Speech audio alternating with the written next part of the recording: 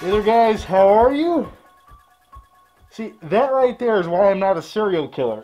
I can't even drink it with a mask on. Ah, so good.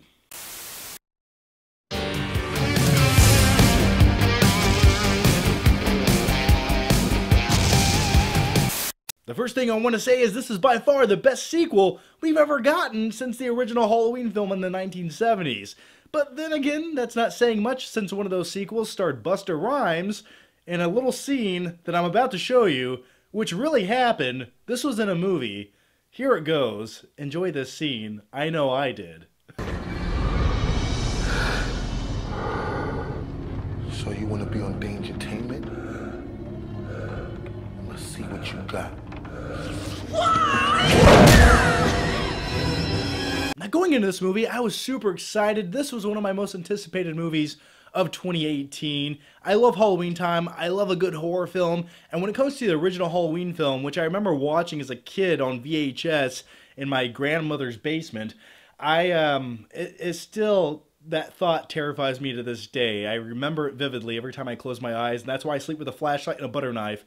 But anyway, that first film is the definition of perfection in so many ways. I think from a technicality standpoint, a storytelling standpoint, it's so streamlined and has a film noir vibe to it. And just some of the shots in that film and the score, it's lightning in a bottle when it comes to the first Halloween film. And speaking of the original Halloween film, if you want to watch that along with some of the sequels and tons of other horror films, you can do that for free on Shudder for 30 days with my promo code FlickPick linked down below. And big thanks to Shudder for sponsoring this video and making videos possible, and also giving you guys a free 30-day trial to go watch all the horror films you want on their service. If you don't know what Shudder is, it's a premium streaming video service from AMC Networks featuring a great collection of thrillers, horror, and suspense. Shudder has the largest, fastest growing, human-curated selection of thrilling, dangerous entertainment. Shudder provides unlimited ad-free access on all your favorite devices for only $4.99 a month or $49.99 a year. Shudder has a unique library of exclusive and original films, series, horror classics, and blockbuster hits, which are updated every week to keep the selection fresh. Current Shudder exclusives include last year's Kuso by Flying Lotus, Mayhem by Joe Lynch,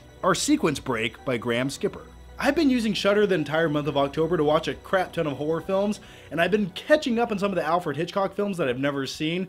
There's tons of movies on there, tons of great horror films, and like I said, if you guys want to try it 30 days completely free, just enter in the promo code FlickPick by using the link down below. This Halloween film is directed by David Gordon Green and stars Jamie Lee Curtis returning once again, and the best thing about this movie is it pretends like all the other sequels never happened. And even early on in the movie, there's a group of teenagers walking down the street and they're talking about the legend of Michael Myers. And one guy is like, Oh, yeah, did you hear Michael Myers had a sister? And they're like, Yeah, that's just a rumor. That never happened. So the writers of this movie are really trying to get that point across that none of the sequels actually happened and they're retcon from history. So no more Busta Rhymes, no more Paul Rudd.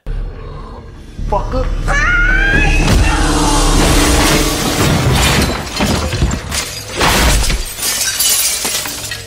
Now, at times throughout this new Halloween film, there are sequences that are suspenseful and terrifying to watch. Not as many as I had hoped for, but there are one or two scenes that I do remember about this film and thought they were very well done. There's a scene where Michael Myers is stalking his prey, and they're in this backyard, and there's this security motion activated light above this house.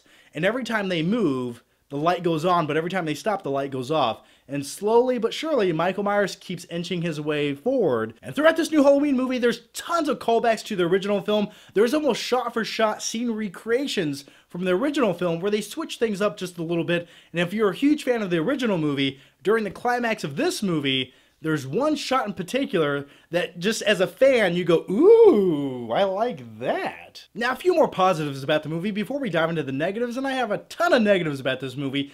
But I want to say, most importantly, they got the characters of Michael Myers and Laurie Strode right. Those are the two main characters I wanted to see done well, and they did them. They executed them. I enjoyed their characters, especially Jamie Lee Curtis's character this time around. She's a little bit kooky, she's a recluse, and she's very paranoid. And for good reason, she was almost murdered when she was a teenager, and I understand. I mean, I don't really understand because I wasn't almost murdered as a teenager, but if I was, I would be doing the same thing she's doing. She's really prepping, she's getting ready. She has her house on lockdown. She's been training. She knows how to shoot shotguns, rifles. She has floodlights, bars on her windows.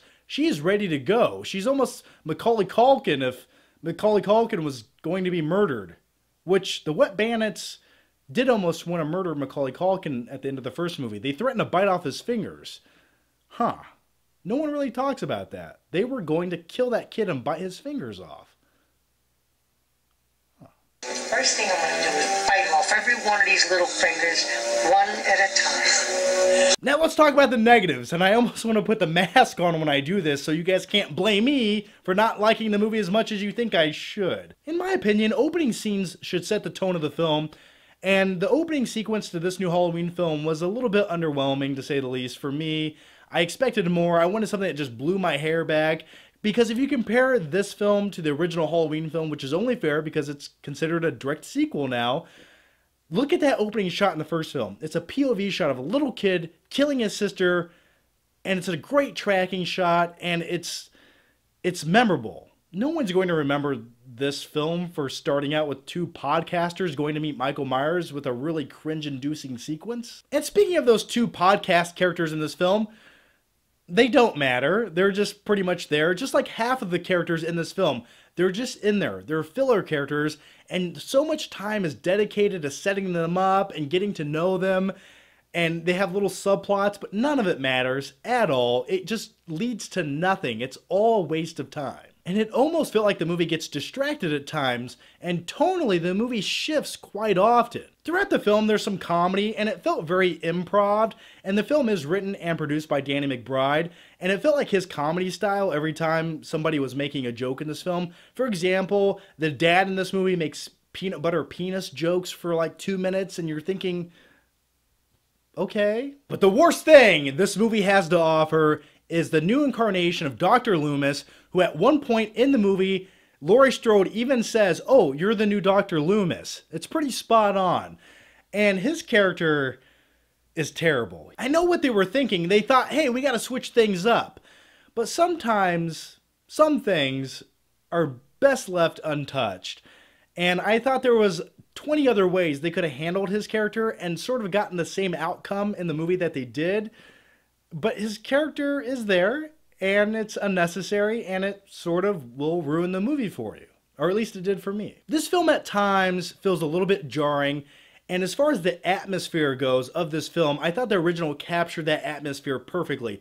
This film at times it doesn't allow you to get immersed into it because like i said the tone switches up so much you can't really just lose yourself in this movie as much as you want to. So before I give you my grade, there's one final positive I do want to mention about this movie, and that was the final showdown between Laurie Strode and Michael Myers. I enjoyed all the traps and booby traps that she set up in her house. It reminded me of Home Alone, but it also reminded me of another horror film, Nightmare on Elm Street, where Nancy essentially does the exact same thing to trap Freddy at the end of that movie. So I'm willing to say this movie took some inspiration from that idea. They're both very similar. So with all that said, I'm going to give this movie uh, a C plus. Go check it out if you're a Halloween fan. I think most people will like this movie, but there's so many things I was frustrated by when watching this film, and at times it's a really good movie, but at other times it's like they forgot which movie they were making and made a lot of bad decisions, which were frustrating for me. So those are my thoughts on Halloween. Now, here's my question for you guys, and let me know down below what did you guys think about this new Halloween movie? Or what is your favorite scene in a horror film of all times? Not, not the scariest scene, just something from a technical standpoint that just really impressed you. I would say the POV tracking shot in the first Halloween was really amazing and ahead of its time. So, as always, guys, thanks for watching. Make sure you subscribe, click that notification button, give the video a thumbs up, leave a comment down below. And uh, make sure you subscribe, and I'll see you guys next time. Take care.